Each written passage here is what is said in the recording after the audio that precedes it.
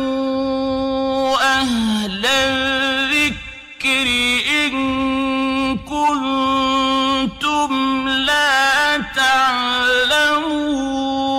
تعلمون ওয়ালাইকুম আসসালাম রহমতুল্লাহি ওবরাকাত যে আমাদের একদিন ভাই জনাব মোহাম্মদ নাসের দুবাই থেকে জানতে চেয়েছেন যে সমস্ত যায় নামাজের উপরে আহ, কাবা শরীফের বা মসজিদের ছবি থাকে, সেগুলোতে নামাজ পড়া যাবে কিনা। আলহামদুলিল্লাহ ওয়াহদা ওয়াসালাত আল্লাহ রসুলিল্লাহ মাবাদ জি, সম্মানিত ভাই, যে সমস্ত যায় নামাজের উপরে প্রাকৃতিক দৃশ্য তৎসঙ্গে মসজিদে মুকাদ্দাস জায়গা যদি ছবি থাকে বা কাবার ছবি থাকে বা মসজিদ নবাবের যদি ছবি থাকে বেতুল মুকাদ্দাস যদি ছবি থাকে তাহলে সেই সমস্ত আহ, ছবিযুক্ত জায়নামাজের উপরে নামাজ পড়তে কোনো অসুবিধা নাই। তবে ওই সমস্ত জায়নামাজ ত্যাগ করা উচিত। যেগুলো জায়নামাজে নামাজ পড়লে মানুষের মনোযোগী হারিয়ে ফেলে। মনোযোগ হারিয়ে ফেলে কাকতি মিনতি হারিয়ে ফেলে। এই ধরনের চাকচিক্য জায়নামাজ ত্যাগ করা উচিত।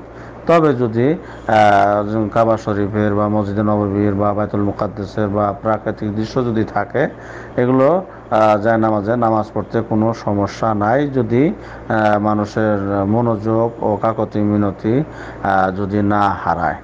তবে এগুলো থাকার কারণে চাকচিক্য চাকচিক্য থাকার কারণে যদি নামাজের মনোযোগী নষ্ট হয়, কাকতি মিনতি নষ্ট হয়, তাহলে এগুলো যায় নামাজ ত্যাগ করাই ভালো।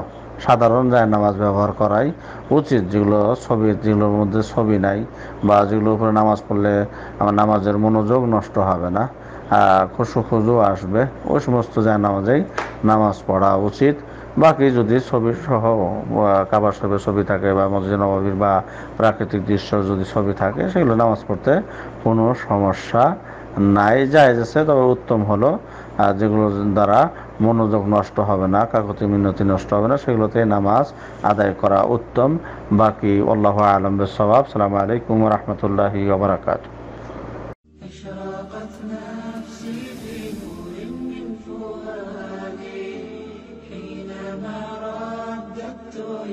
Amen.